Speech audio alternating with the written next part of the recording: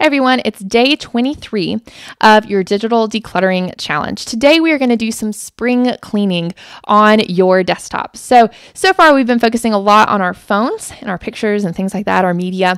But if you have a computer or a work computer, it is probably a good idea to do some spring cleaning. So, what I mean by that is just going through uh, deleting downloads that you don't need anymore or old documents, duplicate documents, um, maybe going through your documents folder and organizing it, making sure that your desktop doesn't have a lot of um, things that are not in folders. Really, your desktop should be almost clean.